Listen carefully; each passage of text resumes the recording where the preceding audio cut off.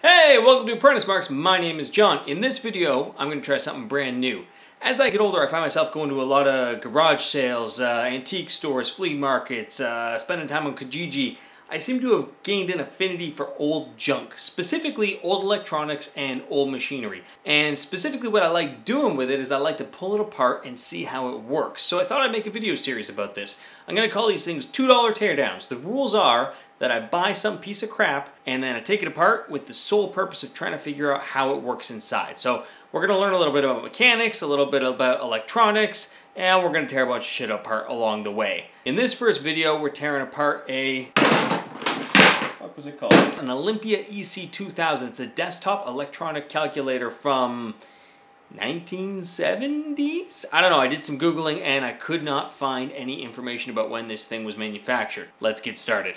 This is a fairly bare bones calculator. I mean, it really doesn't do much compared to, you know, your little scientific handheld calculator that you can buy for 20 bucks anywhere these days.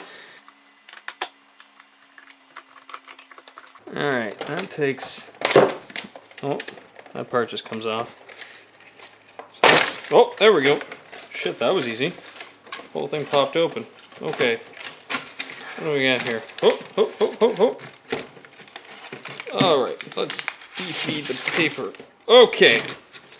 So looking at the inside of the beast, we have got a few major sections. We got your power here. Power comes in the back. It's switched through this little switch here transformer to knock the voltage down. It'll still be AC at that point, so there's going to have to be some power rectification on the board. You got your printer situation over here with a ribbon cable that goes down to the main board that sits underneath. That'll be where the logic sits. And then you got your keyboard that sits on top here with the built-in screen.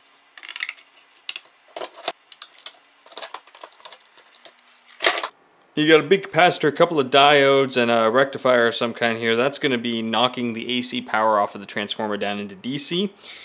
Then we've got some chips over here that I'm going to assume are maybe memory, but we'll look those up. These guys here are transistor arrays. They are 7-unit Darlington transistor arrays. So I guess what that means is that there's seven transistors in each of these. And a transistor is just an electronic switch. It just switches things on and off. So it looks like all of the logic for how to calculate pretty much everything, all of the mathematical functionality, the printer, the display, everything is basically on this single chip right here. Alright, let's take a closer look at the printer here. It looks like there's probably a single motor in here somewhere. Bunch of gearing. This is like a rubberized roller here to push the paper. Jeez, how do we even begin to take you apart? Oh, here we go. A couple of Phillips screwdrivers. Oh, interestingly, this entire unit here says it's made by the Epson Corporation. So Olympia made the actual calculator itself, but of course they outsourced some of the parts. All the solid state components here, these are Mitsubishi components, and the printer is made by Epson, which of course is a company that still makes printers. You know I'm not seeing on this printer is how you would go about changing like a print cartridge or a ribbon or something like that. That's interesting. Oh, there it is. That's where the ink goes. Dry as bone. Okay, so basically you buy this little ink roller here. This would be soaked with ink, or I guess you could put your own ink in it. And that just slides in there and clips in. And then what that's doing is rolling up against the back of a bunch of rubber pads that are numerical down there, and it's keeping them constantly covered with ink. Oh shit. Okay, we, we had a spring of a thing attack here. So this guy... Oh, neat! Okay, this is cool. Alright, this is why I do this shit.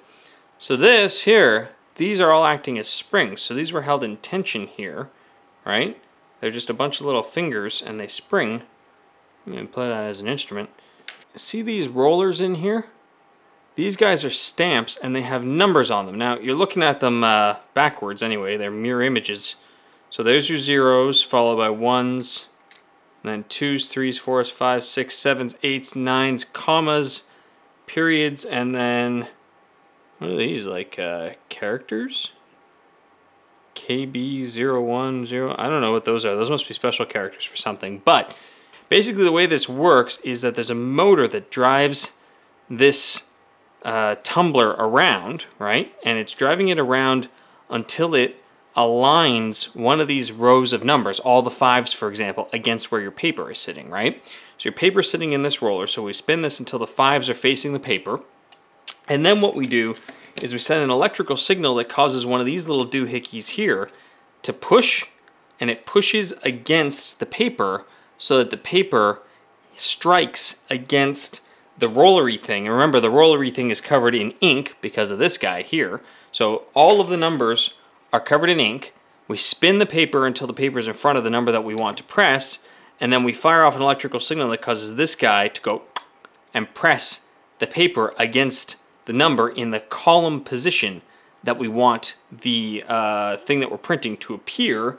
And then we've got this little spring doohickey that was balanced against these guys that causes the hammer, once it fires, to pop back off of the paper so you can advance the paper to the next row.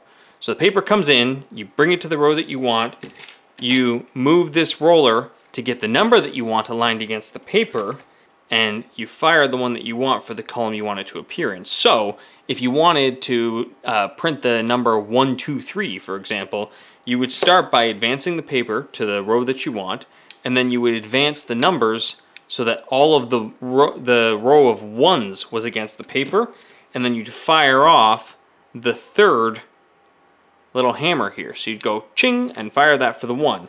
And then, without moving the paper, you would advance the roller here so that the twos are against the paper, and you'd fire off the second one, ching, and then lastly you'd advance it one more time so the threes are against the paper, and you'd fire off the third one. And then you would have a row on your paper that says one, two, three. And then you could advance the paper to the next row. That's really cool. Okay, now I want to see how the fuck this little thing works. there's a little remover for these stupid clips, and I don't have one. Ow, fucker! Ow! Tweezers are sharp. Well, not anymore. Fuck, my finger bent. Oh, fuck, I'm bleeding. God damn it. Alright, there we go.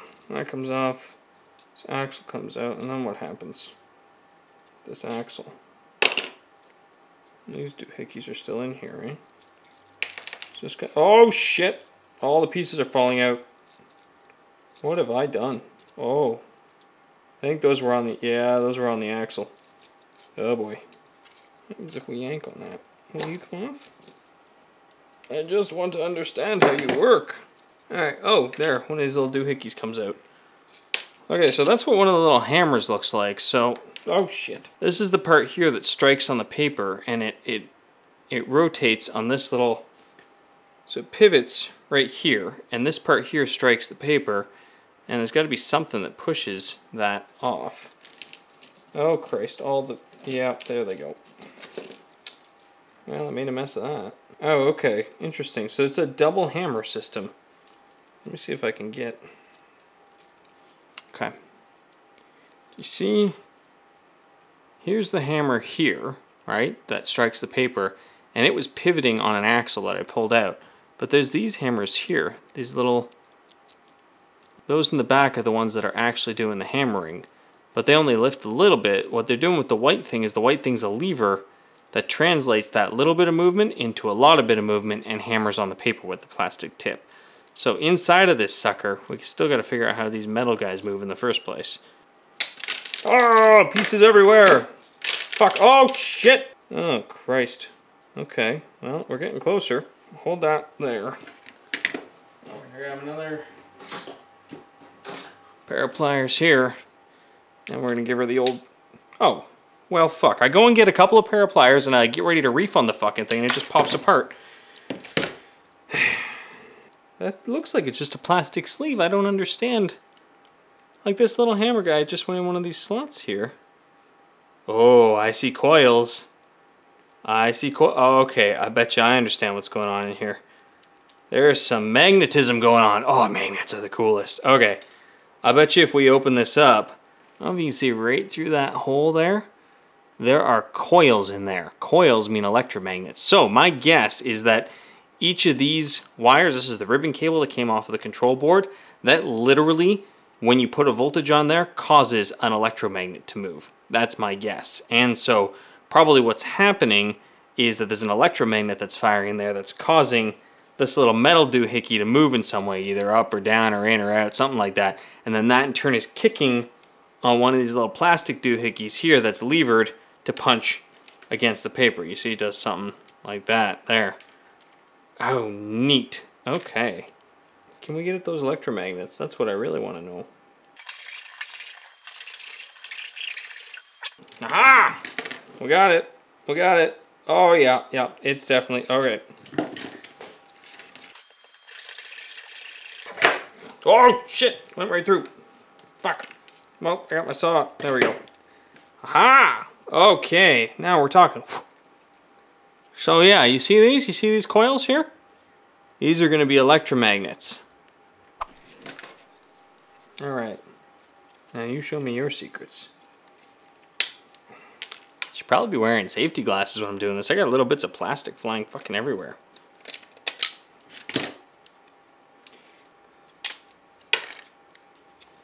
Aha, okay. So this roller is what would advance the paper. oh, the motor's inside the roller. Well, that's interesting. Oh, this is neat. Okay.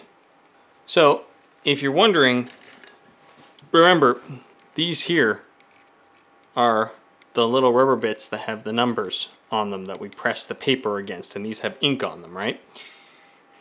This here is how the computer knows what number is currently pressed against the paper. So what we want to do is treat this like a whole bunch of little switches. So if we're in this position here, right, then you can read power off of this inner spring, but there's no power off the outer spring. And then you can read power off of this outer spring, but there's no power on the inner spring. And then there's power on the inner spring, but on the outer spring, and so on and so forth, right? So you can see that as this goes round, you can count in steps to see how far this has gone. It's not where exactly the wheel is, it's how far the wheel has spun, right? You can spin the motor and then count the pulses first on this one, and then on this one, then on this one, then on this one. And when you count those pulses, you can tell exactly how far the wheel has spun in the first place, right? But then there's this rubber roller down here, this guy here, that would spin as the paper is thread th fed through the machine. And as it comes around, you see it actuates this little white guy here. And that pushes on a switch. It's a little momentary switch right there, up into here. And when the switch is completed here by this white thing pushing in, I think we know that the paper has gone up one column. That's my guess anyway, or one row, excuse me.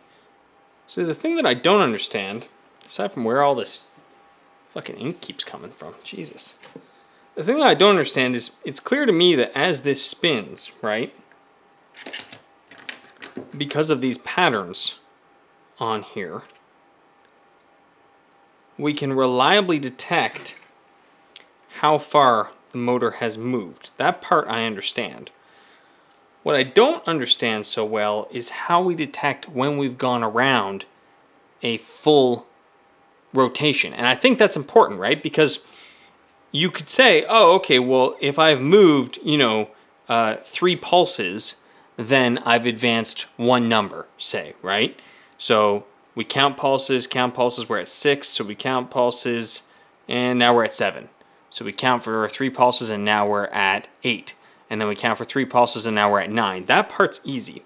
The thing that doesn't make any sense to me is how this thing knows when it gets around a full rotation, because it has to know when it gets around a full rotation so that it knows, you know, where the offset is, because it has to reset it back to zero when it first, uh, or back to a known position when it first powers on.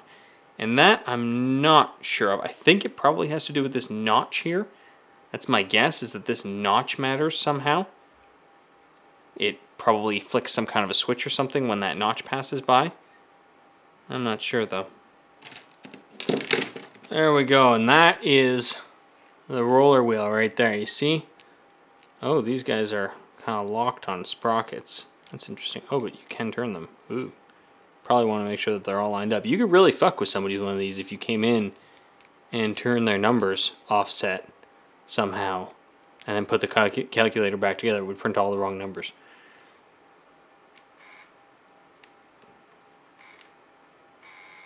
Yeah, there's that little motor running. In terms of hacking on future projects, this little motor is probably the only thing that's come out of here that's going to be any use to me, but pretty cool how that entire printer can run off of one motor, a bunch of little electromagnets, and some clever gearing and electronics. The rest of this is largely crap, but well, we figured out how this printer worked. That was pretty cool. Hope you guys liked uh, the teardown, the $2 teardowns. Um, I got a bunch of other crap that I'm going to pull apart and make videos about. So, uh, you know, stick around. Let me know in the comments what you think.